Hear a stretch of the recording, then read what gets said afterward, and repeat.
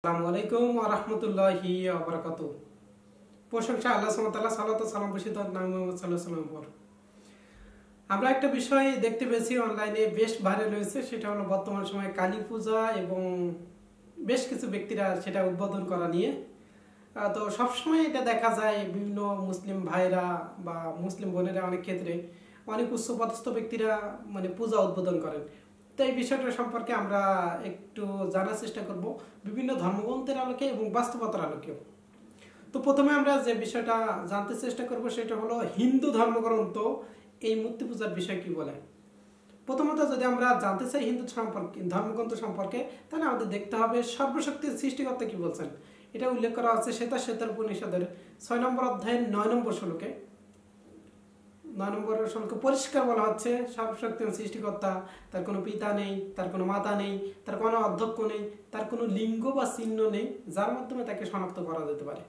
তাহলে পরিষ্কার হিন্দু ধর্ম অনুযায়ী সর্বশক্তি সৃষ্টিকর্তার কোনো লিঙ্গ বা চিহ্ন নেই। যার লিঙ্গ আছে, সে সৃষ্টিকর্তা না। যার পিতামাতা আছে, সে সৃষ্টিকর্তা না। কারণ এই শ্লোকে পরিষ্কার বলা হয়েছে যে শ্বেতা শ্বেতের উপনিষদ ছয় নম্বর অধ্যায় নয় নম্বর শ্লোকে সর্বশক্তি সৃষ্টিকর্তার কোনো পিতা নেই, তার কোনো মাতা নেই।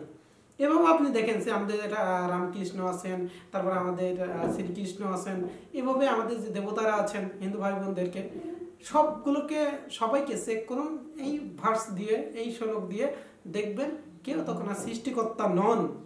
তাহলে পরিষ্কার আমরা জানতে পারছি হিন্দু ধর্মগ্রন্থ থেকে কোনো মানুষ কখনো সৃষ্টিকর্তা হতে পারে না। এছাড়া বলা হয়েছে ঋগ্বেদে এক নম্বর গ্রন্থ একশো চৌষট্টি নম্বর সূক্তের ছেচল্লিশ নম্বর মন্ত্রে একম সাত বিপ্লবোধ বেদান্তে। ঈশ্বর একজনই। জ্ঞানীগণ একজন ঈশ্বরকে অনেকগুলো আলাদা নামে ডেকে থাকেন। তাহলে পরিষ্কার, সৃষ্টিকর্তার কোনো লিঙ্গ বা চিহ্ন নেই, সৃষ্টিকর্তার কোনো পিতামাতা নেই, সৃষ্টিকর্তার কোনো অধ্যক্ষ বা শিক্ষক নেই, সৃষ্টিকর্তা একজন মানুষ তার অনেকগুলো নামে ডেকে থাকে। এটা উল্লেখ করা আছে অথর্ববেদের তেরো নম্বর মণ্ডলের চার নম্বর সূক্তের সতেরো থেকে একুশ নম্বর মন্ত্রে। সেখানে পরিষ্কার বলা হয়েছে, সৃষ্টিকর্তা দুইজন না, তিনজন না, চারজন না, পাঁচজন না, ছয়জন না, সাতজন না, আটজন না, নয়জন না বা দশজনও নন, তিনি মাত্র এক, একজনই, তিনি মাত্র একক। এটা পরিষ্কারভাবে বলা হয়েছে হিন্দু ধর্মগ্রন্থে, সৃষ্টিকর্তা মাত্র একজনই, তার কোনো লিঙ্গ বা চিহ্ন নেই। এরপর আসি, তাহলে সৃষ্টিকর্তার মূর্তি পূজা তৈরি করা যাবে কিনা, পূজা করা যাবে কিনা? পরিষ্কারভাবে বলা হয়েছে যজুর্বেদে চল্লিশ নম্বর অধ্যায়, আট এবং নয় নম্বর মন্ত্রে, যে তারা অন্ধকারে প্রবেশ করে, যারা প্রাকৃতিক বস্তুর উপাসনা করে চন্দ্র সূর্যের উপাসনা করে সূর্য আহ, সূর্য নমস্কার করে তারা অন্ধকারে প্রবেশ করে। তারা আরও বেশি অন্ধকারে প্রবেশ করে যারা প্রতিমা পূজা করে মূর্তি তৈরি করে পূজা করে। তারা যারা কালী পূজা করছে তারা যারা দুর্গার পূজা করছে যারা কৃষ্ণ ছবি বানিয়ে পূজা করছে যারা রামের ছবি বানিয়ে পূজা করছে তারা সবাই কি যারা গণেশের ছবি মূর্তি বানাচ্ছে তারা সবাই কি অন্ধকারের ভিতরে প্রবেশ করছে? এই কারণে কিন্তু Hindu source according to Hindu ধর্ম অনুযায়ী। তাহলে আমরা পরিষ্কার এখানে বুঝতে পারছি, হিন্দু ধর্ম অনুযায়ী এই মূর্তি পূজা ঠিক নয়, মূর্তি পূজা করা যাবে না। এছাড়া হিন্দু ধর্ম পরিষ্কার বলা হয়েছে, ঈশ্বরকে কখনো দেখা যাবে না। আসুন আমরা একবার দেখি যে ধর্মগ্রন্থের ভিতরে যেটা বেশি ফলোয়ার যাদের সেটা হলো খ্রিস্টান ধর্ম বা ইহুদি ধর্ম, বাইবেল। তো আমরা এই বাইবেল থেকে দেখব যে বাইবেলে মূর্তি পূজা সম্পর্কে কি বলা হয়েছে। যদি আমরা দেখি বাইবেল, তাহলে আমরা বাইবেলে পরিষ্কার জানতে পারি। বাইবেলের সাথে মূর্তি পূজার মানে দা কুমড়া সম্পর্ক। মানে যদি কেউ মূর্তি পূজা করে, তাকে হত্যা করে ফেলতে হবে। যদি কেউ মূর্তি পূজা করে, তাকে আগুনে পোড়াতে হবে। যদি কেউ মূর্তি পূজা করে, তাহলে তার সেই মূর্তি এনে আগুনে পুড়িয়ে দিতে হবে। বাইবেলে পরিষ্কারভাবে বলা হয়েছে। আপনারা যদি পড়েন বুক অফ ডিউটোনমি, ওল্ড টেস্টামেন্টের পাঁচ নম্বর বই, এর সাত নম্বর অধ্যায় তিন থেকে পাঁচ নম্বর পদে বলা হয়েছে, যদি কেউ মূর্তি পূজা করে তাহলে তাদের সেই মূর্তি বাঁশ খুঁটি সব কিছু ধ্বংস করে ফেলতে হবে এবং মূর্তিকে আগুনে পোড়াতে হবে। বাইবেল পরিষ্কার বলা হচ্ছে, তাদের সাথে কোনো সম্পর্ক রাখা যাবে না ছেলেমেয়ে বিয়ে দেওয়া যাবে না, তাদের সাথে মেশা যাবে না এবং মূর্তিকে কি? আগুনে পুড়িয়ে দিতে হবে। বাইবেলে বলা হয়েছে, বুক অফ ডিটোনমি তেরো এবং সতেরো নম্বর অধ্যায়। তেরো নম্বর অধ্যায়, ছয় থেকে নয় নম্বর মন্ত্রে এবং সতেরো নম্বর অধ্যায়, তিন থেকে পাঁচ নম্বর পদে। সেখানে বলা হয়েছে, যদি কেউ মূর্তি পূজা করে, যদি কেউ সূর্য নমস্কার করে চন্দ্র পূজা করে সূর্য পূজা করে, তাহলে তাকে হত্যা করে ফেলতে হবে। বাইবেলে পরিষ্কারভাবে বলা হয়েছে বুক অফ এক্সোডাস ওল্ড টেস্টামেন্টের দুই নম্বর গ্রন্থের বাইশ নম্বর অধ্যায়ের বিশ নম্বর পদে, যদি কেউ মূর্তির সামনে কোনো ভোগ উপহার দেয়, মূর্তির সামনে কিছু রাখে, তাহলে তাকে কোনো নৈবেদ্য দেয়, তাহলে তাকে কি করতে হবে? তাকে হত্যা করে ফেলতে হবে। তাহলে বাইবেল অনুযায়ী কেউ মূর্তি পূজা করলে তাকে হত্যা করতে হবে। কেউ কুপুরি বা শির করলে ব্লাসফেমি আইন অনুযায়ী তাকে হত্যা করতে হবে। এটা বাইবেলের নির্দেশ। আমরা পবিত্র কোরআন দেখব ইনশাআল্লাহ। তাহলে দেখতে পাচ্ছেন, হিন্দু ধর্ম মূর্তি পূজা নিষিদ্ধ, বাইবেলে মূর্তি পূজা নিষিদ্ধ। আসেন আমরা পবিত্র কোরআন কি বলে? যেটা সর্বশেষ গ্রন্থ, সর্বশক্তিমান সৃষ্টিকর্তার। পবিত্র কোরআনে বলা হয়েছে, আর পবিত্র কোরআন সবগুলো নবী রাসুলের কথা বলেছে যেই নবী রাসুলগুলো প্রধান প্রধান নবী রাসুল। যেমন মুসাল্লাহ সাল্লাম সম্পর্কে বলা হয়েছে, ইব্রাহিম আল্লাহ সাল্লাম সম্পর্কে বলা হয়েছে এক আল্লাহ সাল্লাম সম্পর্কে বলা হয়েছে যীশু খ্রিস্ট বা ইসা আল্লাহ সাল্লাম সম্পর্কে পবিত্র কোরআন বলছে। পবিত্র কোরআন একটা অথেন্টিক ধর্মগ্রন্থ। এটা একদম বিশুদ্ধ ধর্মগ্রন্থ। এর বিশুদ্ধতা চোদ্দশো বছর ধরেই টিকে আছে। পৃথিবীর কেউ এটাকে এখনও পর্যন্ত ভুল প্রমাণ করতে পারিনি। তাহলে আমরা দেখতে পাচ্ছি যে বিভিন্ন ধর্মগ্রন্থে আর পূর্ববর্তী কিতাবের কথা পূর্ববর্তী নবীর কথা পবিত্র কোরআনে অনেক জায়গায় বলা হচ্ছে তো আসুন আমরা দেখি, এই নবীরা দাওয়াত দিয়েছিলেন শিরকের বিরুদ্ধে। প্রত্যেকটা নবী তার সম্প্রদায়কে শিরকের বিরুদ্ধে দাওয়াত দিয়েছিলেন। মূর্তি পূজার বিপক্ষে দাওয়াত দিয়েছিলেন। আমরা বাইবেল থেকে জানি এবং কোরআন থেকে জানব ইনশাআল্লাহ।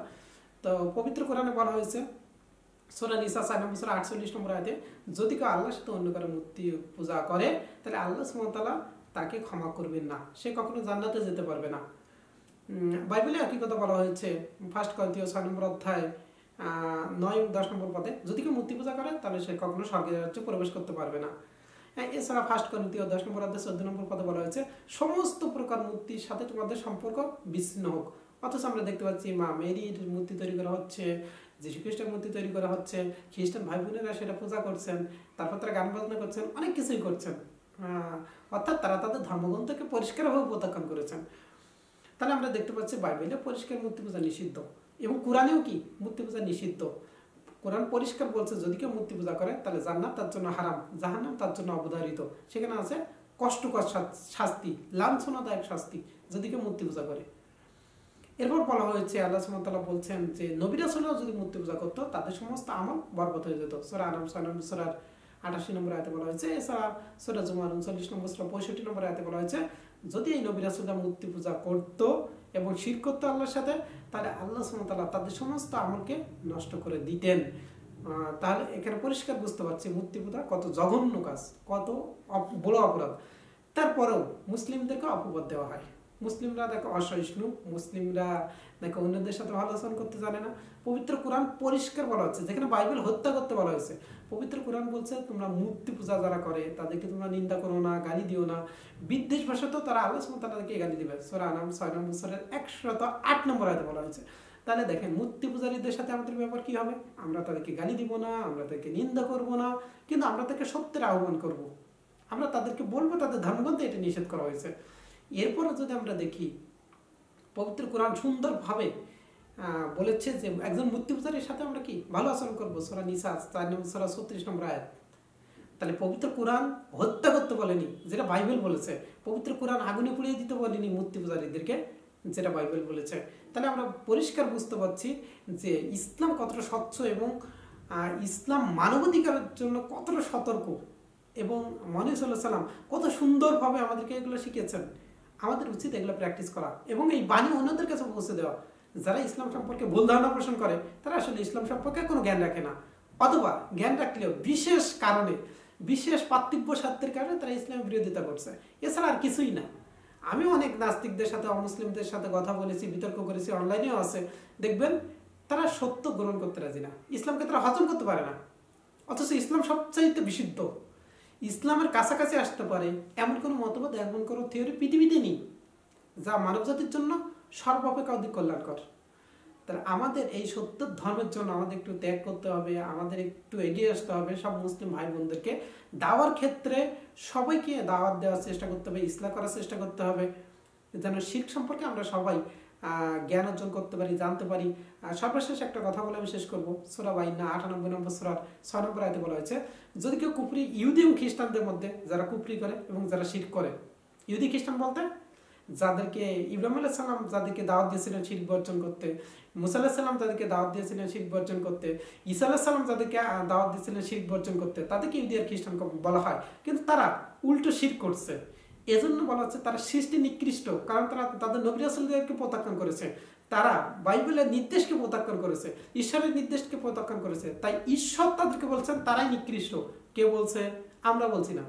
আল্লাহ সুমতাল বলছেন, সর্বশক্তিমান সৃষ্টিকর্তা বলছেন, যিনি ইতিপূর্বে বাইবেলের অনুসারীদেরকে সৃষ্টি করেছেন, যিনি হিন্দু ধর্ম অনুসারীদেরকে সৃষ্টি করেছেন, যিনি খ্রিস্টান ধর্ম অনুসারীদেরকে সৃষ্টি করেছেন, সেই সৃষ্টিকর্তা বলছেন ইদি এবং খ্রিস্টানদের ভিতরে যারা শির করে, যারা কুপরি করে, সর্বশক্তিমান সৃষ্টিকর্তার সীমাকে লঙ্ঘন করে, তারা সৃষ্টি নিকৃষ্ট।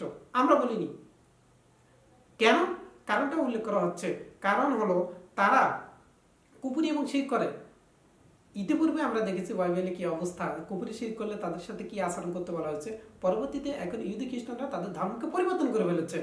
বাইবেলের একটা ভার্সের, একটা অধ্যায়ের সাথে আর এক অধ্যায় মিলে না।